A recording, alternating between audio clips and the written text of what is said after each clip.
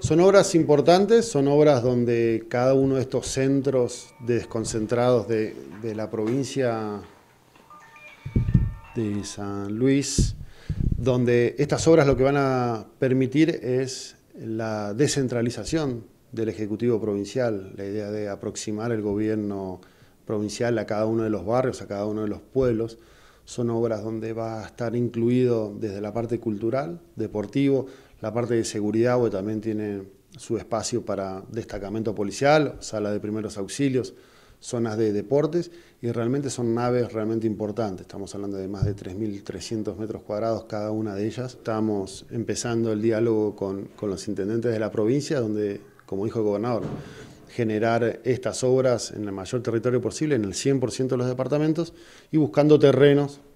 obviamente de la periferia al centro y terrenos donde los pueblos quieran cambiar el eje, como es el caso del SCAC acá en la, ciudad de San Luis. Es una obra de más de 9.300 metros cuadrados cubiertos en una casi una superficie de 4 hectáreas, donde va desde obras viales, se van a pavimentar más de 3 cuadras internas que tiene,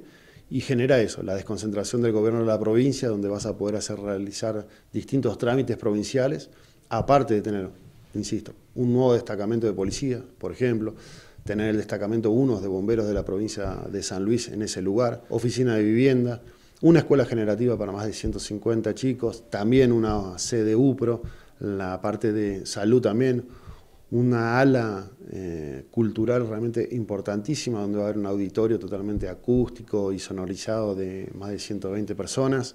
una zona de pequeños productores con más de 50, 50 stands que se van a poder estar radicando ahí, la primera cancha de squash de la provincia de San Luis, un gimnasio, bueno, un comedor, bar y realmente otras cosas más. Todas las obras que anunció el gobernador en la provincia de San Luis ayer están todas 100% equipadas. No solamente se licita la obra, sino que también el completo equipamiento de todas estas obras, cuestión que en menos de un año, cuando se termine esta obra, directamente empiecen a, funcionar. Se ratifica y se pide el análisis en los pliegos del desarrollo de la cadena de productores eh, locales, de proveedores, donde vamos a analizar no solamente desde la materia prima, como pueden ser los áridos, como puede ser la incorporación de piedra en distintas zonas de las obras para justamente motorizar la industria pica pedrera, por ejemplo, de San Luis.